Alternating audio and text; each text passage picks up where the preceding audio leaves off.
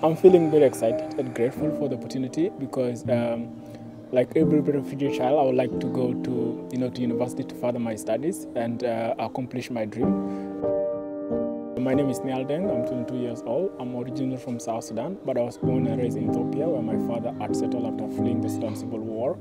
And um, I came to Kakuma refugee camp in 2010 when a village park in Ethiopia was attacked.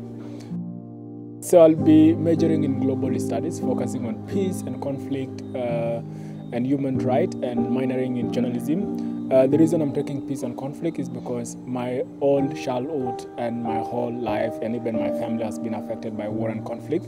So I want to understand the psychology of my childhood and the reason why there's war and conflict in the world and what I can do about it. And the reason I'll be minoring in journalism is that I'm very passionate about telling stories. I believe, you know, uh, that the incredible stories of refugees that need to be told by them, not by others. So I want to be able, you know, to have the opportunity to tell those stories. Uh, my message to young people in Kakuma is that I have lived in Kakuma for 11 years now. Kakuma is a very challenging place. Every single day you wake up with challenges and you go bed you go to bed with those challenges because you don't have the capacity to deal with those challenges. But one thing I do say is that you know the most important thing in a context like this is to have a growth mindset. Uh, as much as there are challenges, the opportunities we can all you know dive into to be able to reach where we want to be.